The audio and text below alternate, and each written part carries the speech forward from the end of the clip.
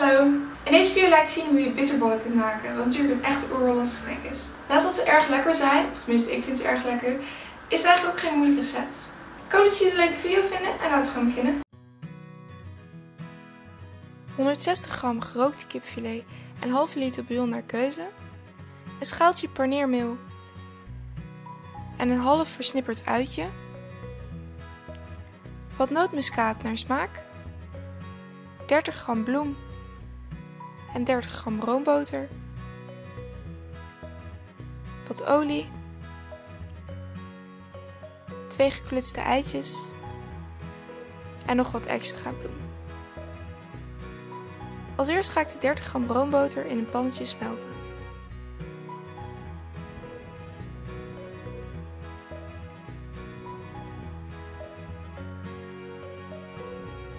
En daarna voeg ik de 30 gram bloem hier in één keer aan toe.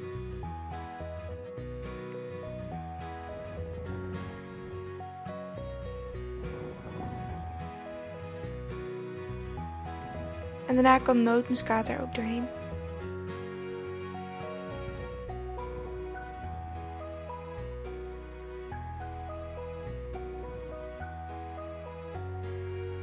En vervolgens voeg ik scheutje per scheutje de halve liter bouillon er ook bij.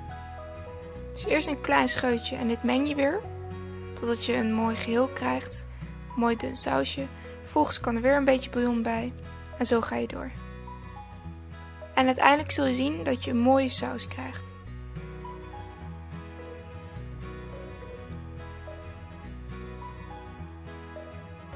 Wees niet bang dat het te dun wordt, want dit zal vanzelf dikker worden.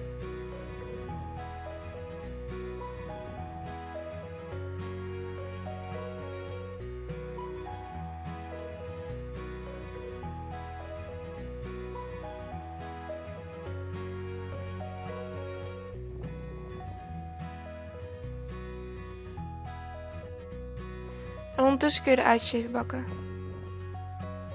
Voeg daarna de gerookte kipfilet er aan toe.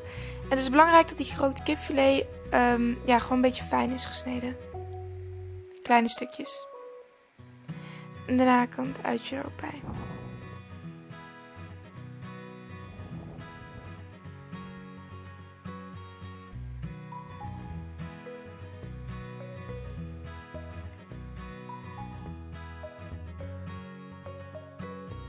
Als de ragout op kamertemperatuur is, is het tijd om de bitterballen te gaan vormen. En hier verpak je als eerste een klein beetje ragout en hier maak je een balletje van.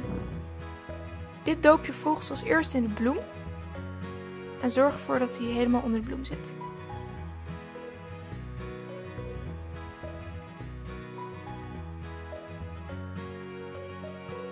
En daarna kan hij worden gedoopt in het geklutste ei.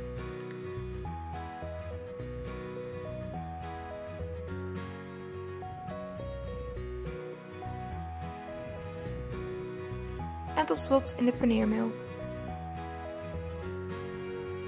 En zorg wederom dat deze weer helemaal onder zit.